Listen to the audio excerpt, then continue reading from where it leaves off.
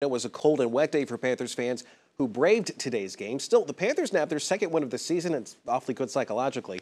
Queen City News reporter Sydney Heiberger caught up with some of those fans who braved the elements to cheer on their team.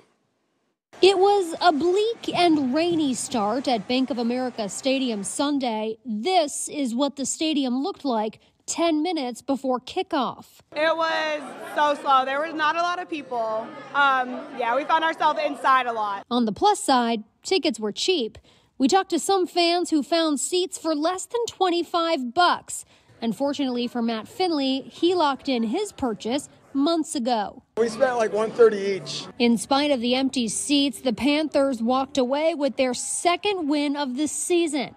Finley attributes the success to the recent changes on the sidelines, including the firing of former head coach Frank Reich.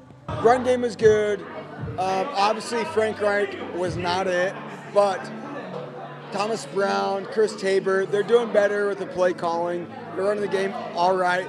Very minimum like flags tonight, so it helped a lot. For some of these Carolina fans, gloating to the Falcons fans made up for the dreary weather.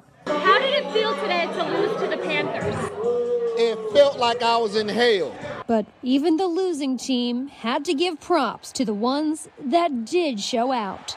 What I can say is more fans came out in the rain in Carolina than if Atlanta was 1 and 12 and it was raining outside. Sydney Heiberger, Queen City News.